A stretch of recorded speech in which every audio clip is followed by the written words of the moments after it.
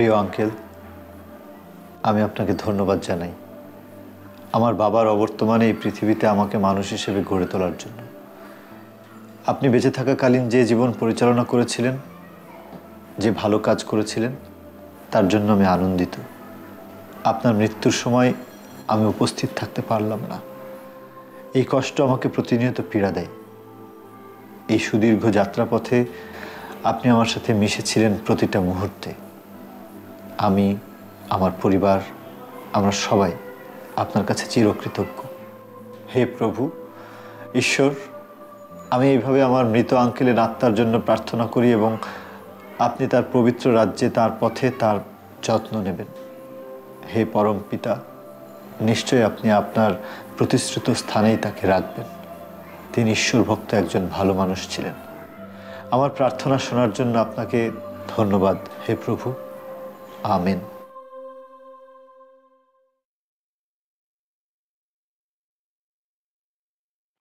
আপনার কি মোমবাতি লাগবে?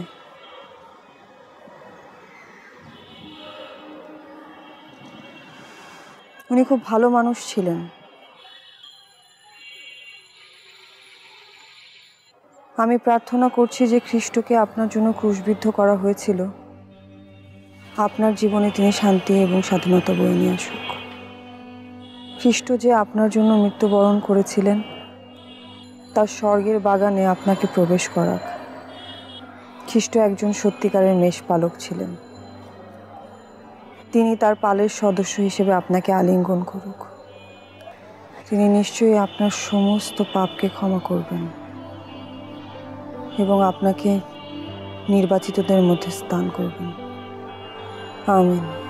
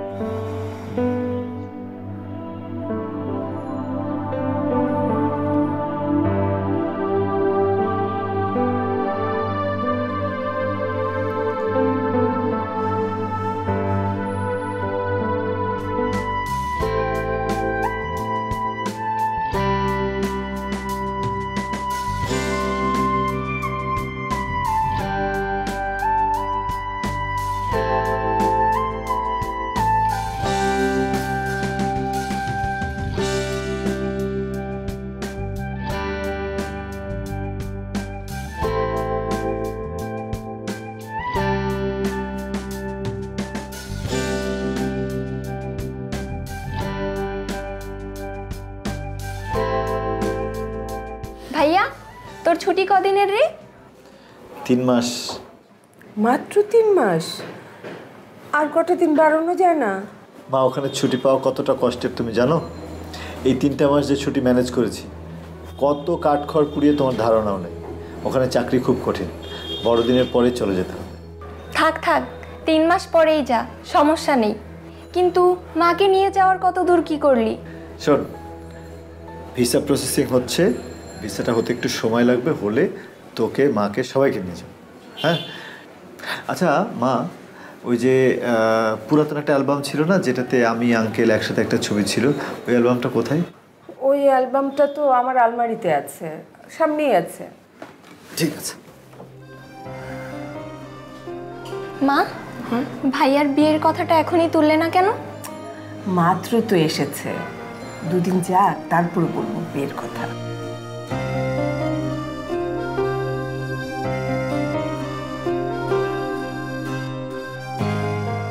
ছোট হা করলে হয় আর একটু বড় করে হা করো।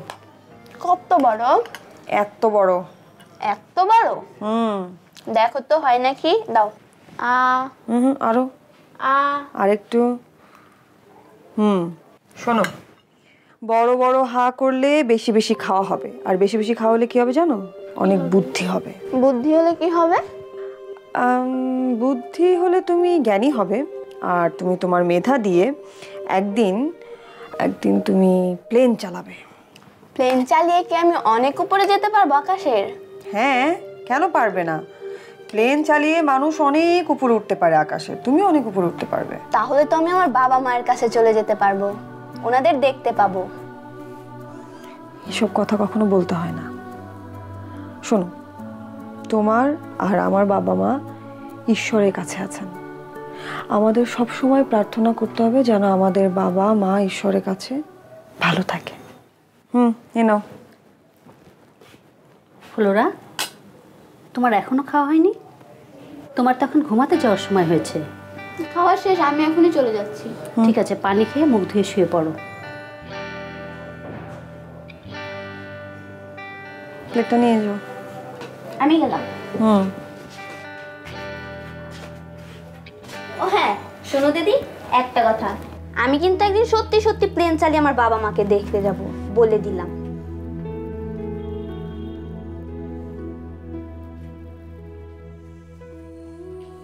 মিথ্যে বললাম মেয়েটাকে আমি। সত্যি সত্যি যদি প্লেন চালিয়ে অনেক উপরে উঠা যেত। সেখানে গিয়ে নিজের বাবা মাকে দেখা যেত, তাহলে কত ভালো হতো, তাই না সিস্টার তাহলে আমিও যেতাম। বাবা মাকে মন ভরে দেখতাম। বাবাকে মাকে জড়িয়ে ধরে বলতাম, দেখো, আমি তোমাদের মেরিয়ান তোমাদের মেয়ে যাকে যাকে জন্ম দিয়ে পৃথিবী থেকে তোমরাই হারিয়ে গেছো। তোমাদের মেয়ে। দেখো মেরি, তুমি ঈশ্বরের কৃপায় অনেক বড় হয়েছো। তুমি যদি এভাবে মন খারাপ করো, তাহলে হোমসের অন্য বাচ্চারা কি করবে? তোমাকে দেখেই তো ওরা শিখবে। আমি ওদের সামনে যথেষ্ট শক্ত, সিস্টার। আমি কখনো ওদের সামনে ভাঙি না, কিন্তু দিন শেষে আমিও তো একটা এতিম, তাই না? আর এতিমদের মন না সব সময় কাঁদেই। আমাদেরও তো ইচ্ছে করে, তাই না? একটা একটা নাম, একটা পরিচয়, একটা পরিবারের। আমাদের তো খুব ইচ্ছে হয় বাবা মার সাথে থাকতে। কোনো একটা জায়গা যেখানে মাথা গোজাবার, মাথা গোছাবার জায়গা আসলে। দিন শেষে এগুলো সবই মিথ্যে। কিছুই হয় না, কোনোদিন আমরা কোনো কিছুই পাই না, পাবো না, আমি জানি। ঈশ্বর নিশ্চয়ই তোমার জন্য ভালো কিছু লিখে রেখেছেন।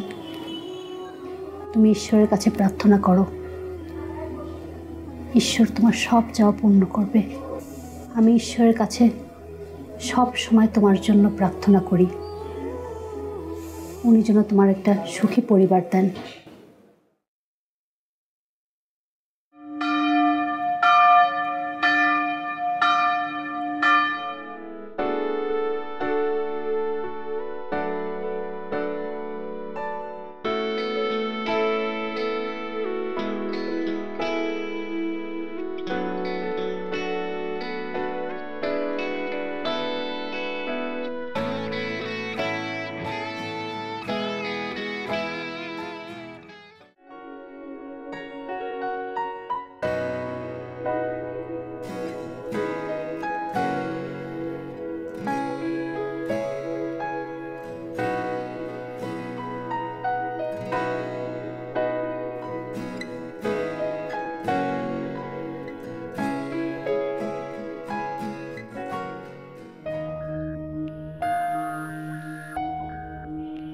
আপনি কি প্রতিদিন এখানে প্রার্থনা sorry I'm sorry I'm sorry extremely sorry আমি আসলে বুঝতে পারি না আপনার চোখে যাবেন। আচ্ছা উঠুন উঠুন উঠুন। উঠুন উঠুন। সরি আপনি কি ব্যথা পেয়েছেন? না না আমি ঠিক আছে। না না কিন্তু আপনার হাতে দেখে মনে হচ্ছে আপনি ব্যথা পেয়েছেন। চলুন আপনাকে ডাক্তারের কাছে নিয়ে যাই। এই ব্যথা ডাক্তারের কাছে গেলে ঠিক হবে না। মানে? আপনি আগে কি করে বুঝলেন যে ডাক্তার দেখালে ব্যথা সারবে না? আগে তো ডাক্তার দেখায়। থ্যাংক ইউ আচ্ছা শুনুন আমি জন জন ডিকস্টা আপনার সাথে পরিচিত হয়ে খুশি হলাম জন।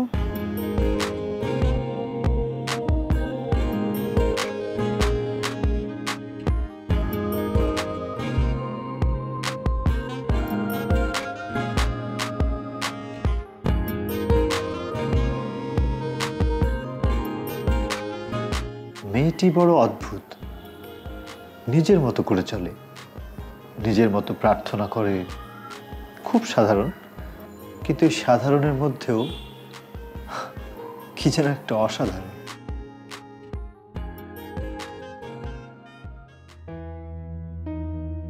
ঈশ্বর, তুমি আমাকে একটা পরিবার দাও। আমার দিকে সব সময় একটা সদয় দৃষ্টি দাও। আমাকে রক্ষা করো, ঈশ্বর, যাতে আমি অশুভ দৃষ্টি থেকে দূরে থাকি।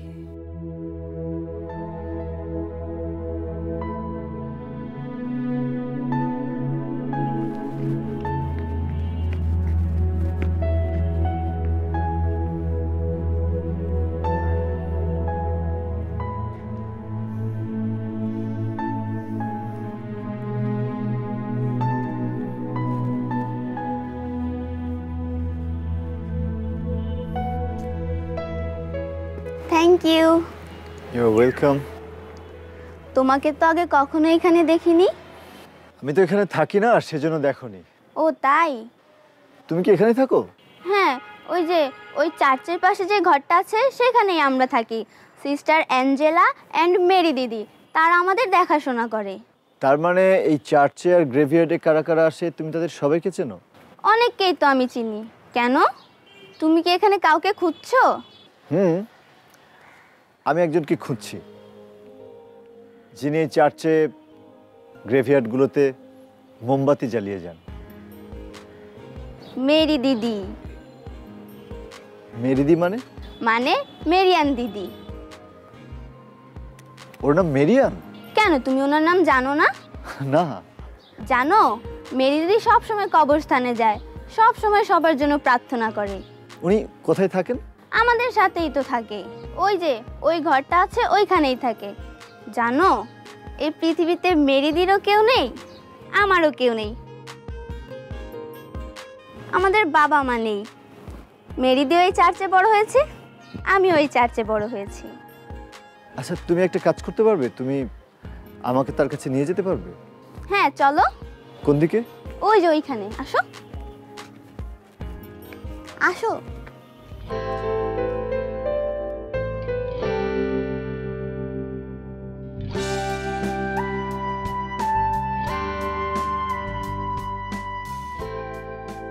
ওই যে মেরি দিদি।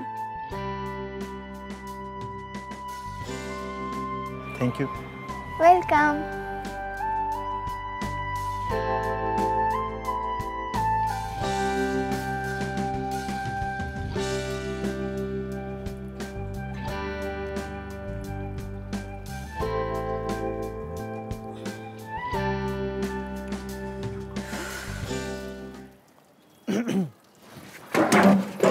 sorry sorry sorry I'm really sorry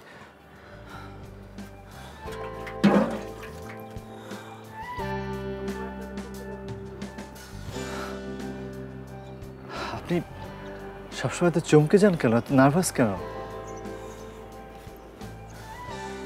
আপনি এখানে? জি। আমি জন ডিকস্টা আপনার নামটা কিন্তু জানা হলো না। কিছু বলবেন? আপনি আপনার নাম না বলতে চাইলেও আপনার নাম কিন্তু আমি জেনে গেছি। আপনার নাম মেরিয়ান।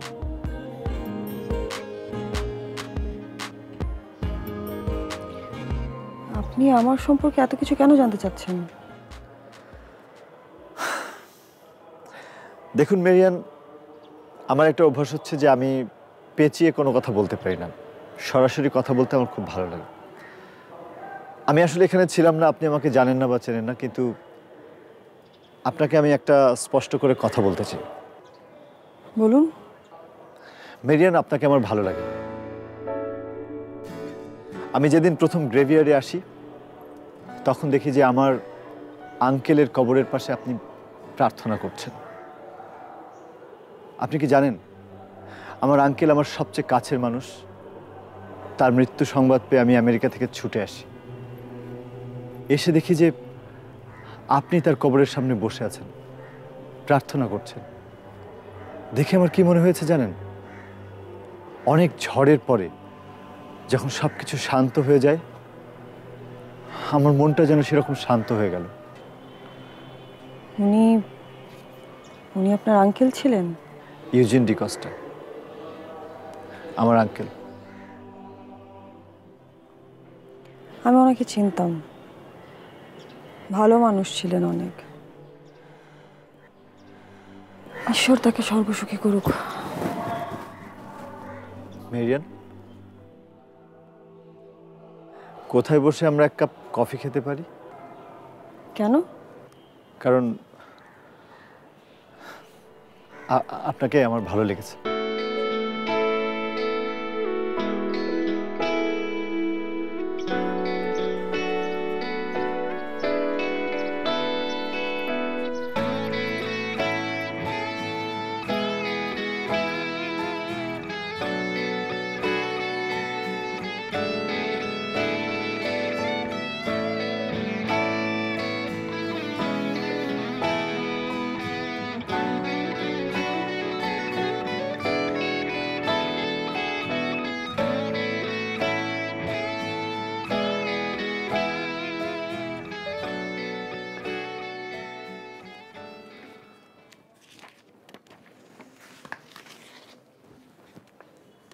মেরি রাত হয়েছে ঘুমিয়ে পড়ো। হ্যাঁ হ্যাঁ। তোমাকে একটা কথা বলি? কিছু মনে করো না। কিছু মনে করব কেন সিস্টার? বলুন না। ছেলেটা কে? কোন ছেলেটা? সকালে যার সাথে তোমাকে কথা বলতে দেখলাম। ও ওই ছেলেটা। আসলে আমি না ওনাকে খুব ভালো মতো চিনি না। উনি উনি ইউজেন ডি কস্টার ভাগ্নে হবেন সম্ভবত। হঠাৎ করে একটু কথা বলতে চাইলেও তাই। ও। আচ্ছা তুমি শুয়ে পড়ো। শুভরাত্রি। শুভরাত্রি।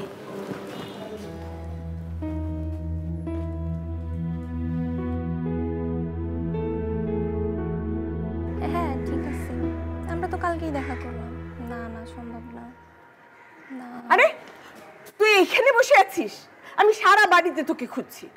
ফিলিপদের আসার সময় হয়ে গেল। আচ্ছা ইয়ে কোথায়? জন কোথায়? এখনও তো এলো না। বলছি তো তাড়াতাড়ি আসতে। এখন না আসলে কি করব? ছেলেটার যে কি হয়েছে সব সময় অস্থির হয়ে থাকে। কিসের তো অস্থিরতা? সেটাই তো বুঝতে পারছি না। সব সময় তো চার্চের দিকেই যায়। ও আসলে ইউজেনকে ভুলতে পারছে না। আঙ্কেল তো আমাদের সবারই প্রিয় ছিল। কিন্তু ও যেভাবে রোজ রোজ চার্চের দিকে যাচ্ছে না একটু বেশি হয়ে যাচ্ছে সব কিছু ঠিক আছে তুই আবার ওকে এটা নিয়ে কোনো কথা বলতে যাস না। ও ফিলিপরা তো আসছে ওর মেয়েও আসবে আজকে কিন্তু পাকা কথা বলতে হবে। ফিলিপের মেয়ের সাথে ওর একটু পরিচয় করিয়ে দিস একটু ভাবটাপ করিয়ে দিস হ্যাঁ? প্রার্থনা করো যেন তোমার ছেলে সময় মতো আসে আগে। হ্যাঁ সেটাই। আচ্ছা শোন অনেক কাজ পড়ে আছে তো। তুই এখানে বসে থাকলে চলবে? চল ভিতরে চল আমার সাথে কাজ করবি আয়। মা তুমি যাও আমি আসতেছি দুই মিনিট।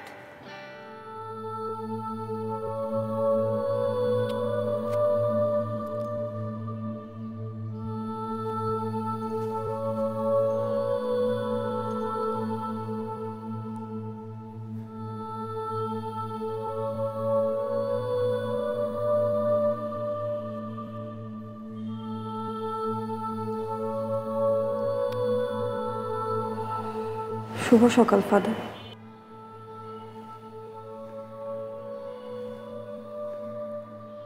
শুভ সকাল মাই চাইল্ড। কেমন আছো? ভালো আছি। আপনি কেমন আছেন? ঈশ্বরের কৃপায় ভালো আছি। রাতে ঘুমাতে কোনো কষ্ট হয়নি তো? বাদ জ্বরে ব্যথাটা কষ্ট দেয়নি তো? No no my child. I am quite okay sister বলছিলেন আপনি আমার সাথে দেখা করতে চান কথা বলতে চান? ইয়েস মাই চাইল্ড দেখো দেখতে দেখতে চব্বিশ বছর হয়ে গেল। তুমি যখন এই চার্চে আসো আমি যখন তোমাকে নিয়ে আসি তখন তুমি ছিলে দুধের শিশু। আজ তুমি অনেক অনেক বড় হয়েছো।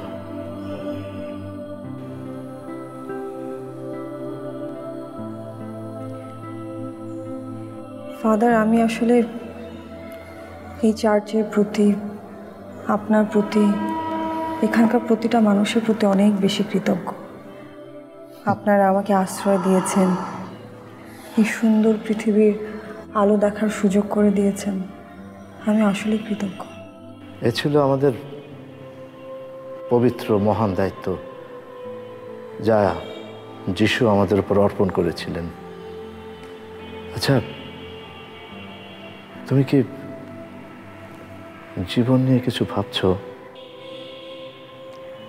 আমার কি ভাবা উচিত ফাদার? এই চার্চে তুমি এই চার্চে দীর্ঘদিন সময় দিয়েছ। এখন তোমার নিজেকে নিয়ে ভাবা দরকার। নিজের জন্য কিছু করা দরকার।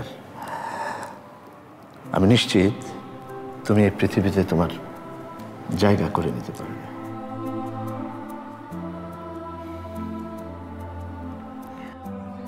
আমার প্রস্তুত হবার জন্য আরও একটু সময় দরকার ফাদার। নিশ্চয় নিশ্চয়ই, মাই চাই তুমি যদি নিজের জন্য কিছু ভেবে থাকো, তাহলে আমাকে বলবে। আমি সবসময় তোমার পাশে থাকব। ভালো থাকবে। ঈশ্বর তোমার মঙ্গল করুক।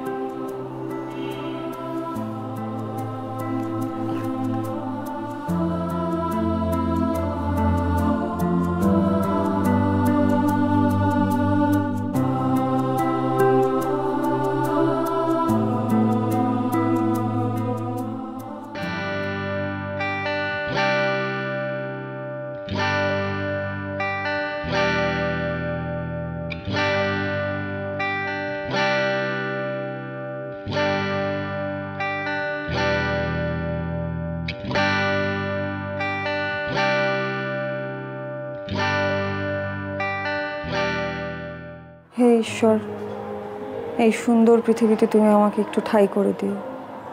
একটু জায়গা করে দিও ঈশ্বর। আমেন। আপনি এখানে? জি। ঈশ্বর আপনার প্রেয়ার শুনেছেন। আপনি আমার কাছে কি চান বলুন তো? বলেছি তো। আপনি জানেন আমি অরফান। তো?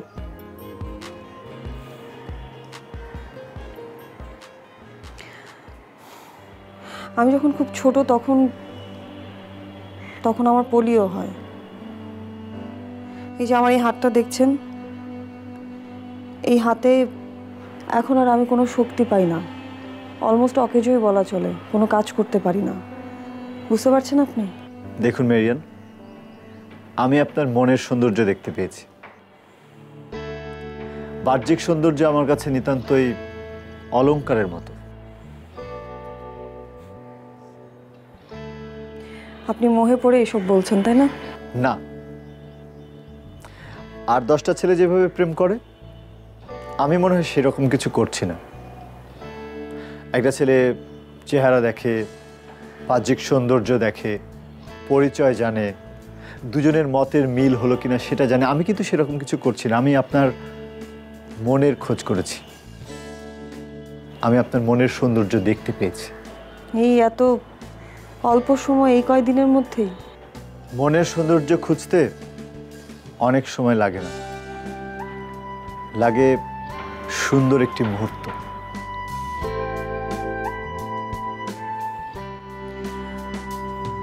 আমাকে ক্ষমা করবেন আপনি। প্লিজ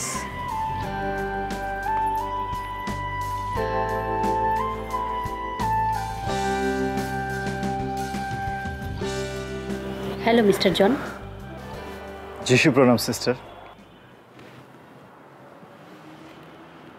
আপনার আঙ্কেল অনেক ভালো মানুষ ছিলেন। আমরা সবাই ওনাকে অনেক পছন্দ করতাম। উনি গির্জার জন্য নিবেদিত প্রাণ ছিলেন। আপনার কথা অনেকবার বলেছেন। আমার আঙ্কেলের জন্য প্রার্থনা করবেন। আমি আপনার কাছে জানতে চাচ্ছিলাম আপনি কি সত্যি মেয়েটিকে পছন্দ করেন? জি আমি শিওর মেয়েটি বড় দুঃখী। ওর বাবা মা কেউ নেই। ফাদার জোসেফ ছোটবেলায় ওকে কুড়িয়ে পেয়েছিলেন। সেখান থেকে ওকে আমাদের এখানে নিয়ে এসেছেন। মেয়েটি খুব ভালো। খুব ভালো মনের একটা মেয়ে। ওনার জীবনে একটাই স্বপ্ন। ও একটা পরিবার চায়, একটা সুন্দর পরিবার, যেখানে ও বাবা, মা, ভাই, বোন হাজব্যান্ডকে নিয়ে আনন্দে থাকবে, সুখে থাকবে। আমি তাকে সেই পরিবারটাই দিতে চাই সিস্টার আমি তাকে সত্যি আনন্দিত করতে চাই।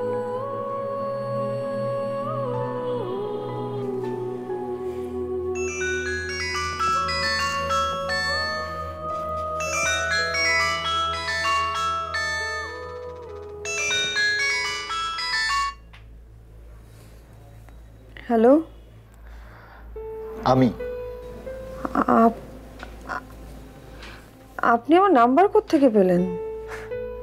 ইচ্ছে থাকলে উপায় হয় সেটা আপনি ভালোই জানেন। আমি এখন ঘুমাবো আমি রাখি হ্যাঁ? আমি আপনাকে কোনো বিরক্ত করব না। আপনি শুধু কালকে একটু আসতে পারবেন? কোথায়? কেন? আসলে দেখা হলে তখন বলি। কোথায় আসব? যেখানে আপনার ইচ্ছা।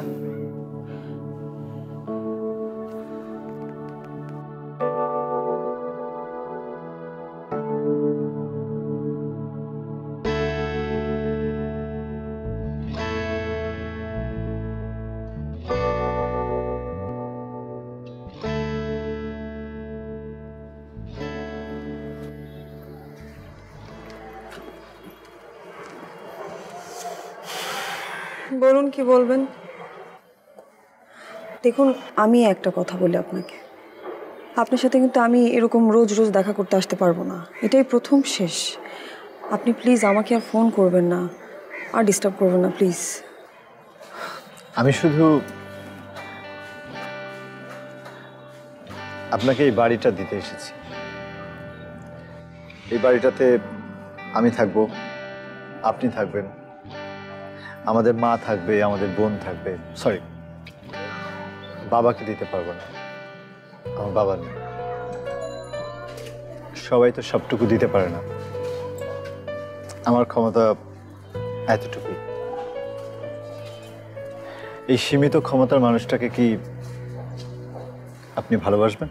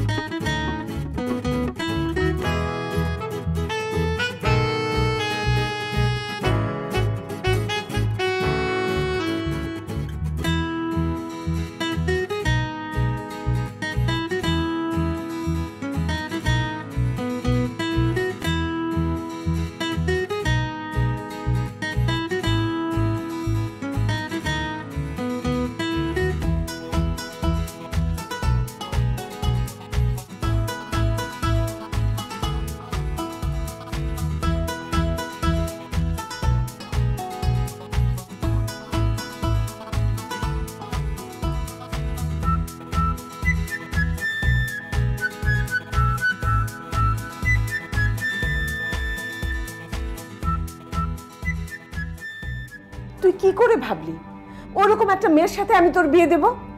ভাইয়া তুই কিন্তু খুব বড় ভুল করেছিস। আরে বাবা ও ভালো মেয়ে।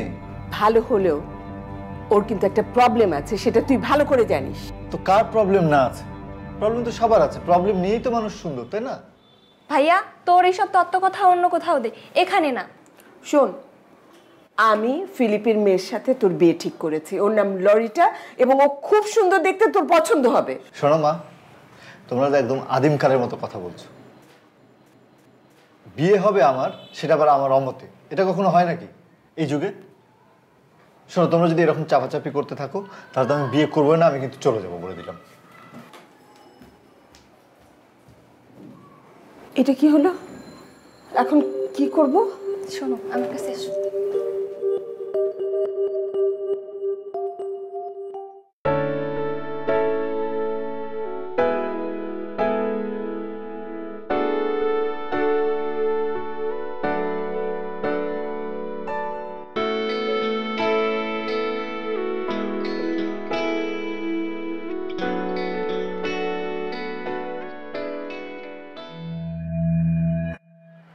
তুমি কি মেরিয়ান? ক্ষমা করবেন আমি ঠিক আপনাকে চিনতে পারলাম না। আমি জনের মা।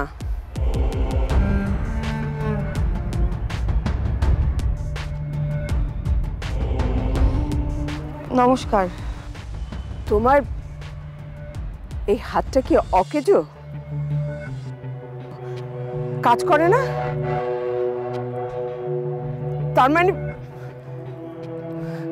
তোমার মতন এমন একটা মেয়েকে আমি আমার ঘরের বউ করব কি করে?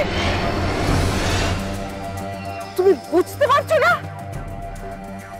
আমার ছেলে তো পাগল হয়ে গেছে, সে তো কিছুই বুঝতে যাচ্ছে না। তুমি অন্তত তাকে বোঝাও। উফ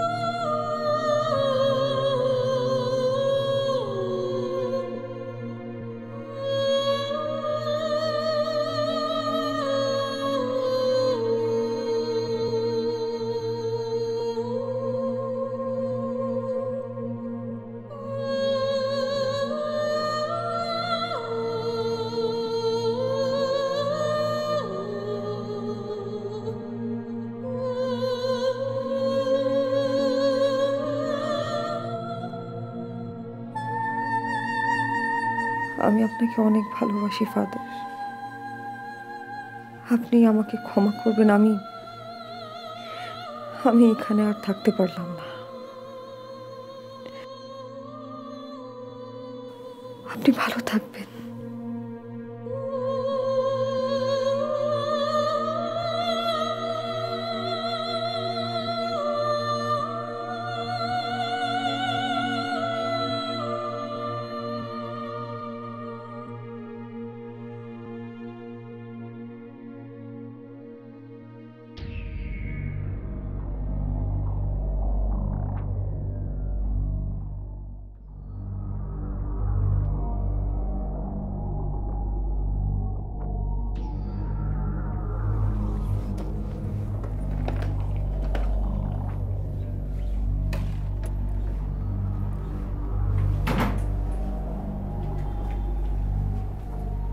কিরে? তুই পাসপোর্ট দিয়ে কি করছিস? হ্যাঁ? সুটকেস কেন নামিয়েছিস? এরকম করছিস কেন বাবা? আমি তো বলছি আমি দেখব ব্যাপারটা। এমন করিস না পাগলামি করিস না বাবা। ভাইয়া ভাইয়া তুই আমাদের ছেড়ে চলে গেলে আমি আর মা কেমনে থাকব? মা তুমি একটু বোঝাও না ভাইয়াকে। বাবা এত অস্থির হোস না একটু ঠান্ডা হ বাবা। একটু ঠান্ডা হ।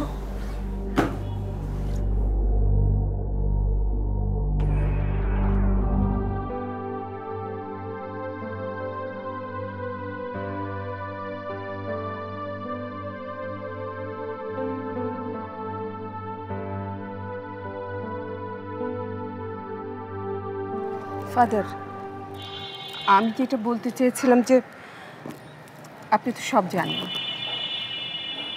আমার ছেলে জন এতদিন পরে দেশে এসেছে। আমি অলরেডি ওর বিয়ে ঠিক করে ফেলেছি। আর সমাজের কাছেও তো আমাদের একটা মান সম্মান একটা পজিশন আছে। এখন জন হুট করে মারিয়ানাকে এমনভাবে পছন্দ করতে শুরু করেছে, কারোর কোনো মানা শুনছে না, আমার কোনো কথাই শুনছে না। আপনি বলুন, ফাদার, আমার এখন কি করা উচিত? সন্তানের ইচ্ছে সবসময় মা বাবা পূরণ করতে পারে না। মিলেন ইজ মাই চাইল্ড আমার সন্তান, অথচ তার জন্য আমি কি করতে পেরেছি? কিচ্ছু করতে পারিনি। তার ছোট্ট একটা ইচ্ছে ছিল। তার একটা পরিবার হবে, মা থাকবে, বাবা থাকবে ভাই বোন থাকবে। অথচ সে কিছুই পেল না। আমি তাকে কিছুই দিতে পারলাম না। লঞ্চ দুর্ঘটনায় তার মা বাবা মারা গেল। লাশটা পর্যন্ত এই মেয়েটা দেখতে পারল না। সে দৈবক্রমে বেঁচে গেল। কিন্তু তার বুকের ভিতরে যে কষ্ট, পাথর চাপা কষ্ট, সেটা তো আমি আর ভুলাতে পারলাম না। সামনে বড়দিন আপনি হয়ে যান না সান্তাক্লোজ মেরিয়ানকে দেন না একটা পরিবার, উপহার হিসাবে। আমি যে জন্য আপনাকে বলছি, আমার অনুরোধ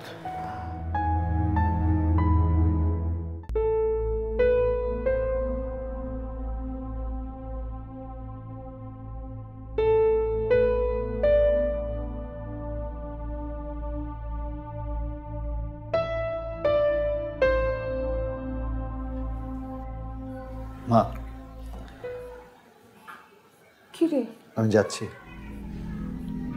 তুই কি সত্যি সত্যি চলে যাচ্ছিস?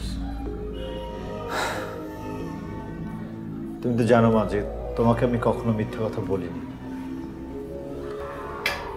এখনও বলছি না কখনো বলব না। হ্যাঁ আমি সত্যি সত্যি চলে যাচ্ছি। শোন বাবা আমি আমি অনেক বড় একটা অন্যায় করে ফেলেছি বাবা। আমি আমি মেয়েটার মনে দুঃখ দিয়ে অনেক বড় একটা পাপ করে ফেলেছি। আমি যে পাপটা করেছি, ঈশ্বর কখনো আমাকে মাফ করবেন না। বাবা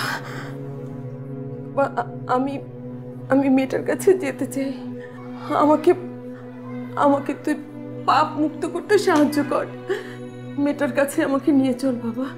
আমি মেয়েটার কাছে, আমি মেয়েটার কাছে ক্ষমা চাইব। আমাকে তুই নিয়ে চল। আমি যাব ওর কাছে? ঠিক আছে।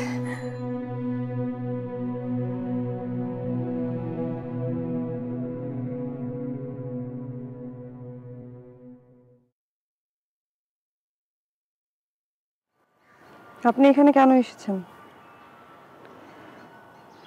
এখান থেকে চলে যান আপনি। আপনার জন্য একটা সুন্দর জীবন পড়ে আছে এখানে সময় নষ্ট করবেন না। প্লিজ যান এখান থেকে।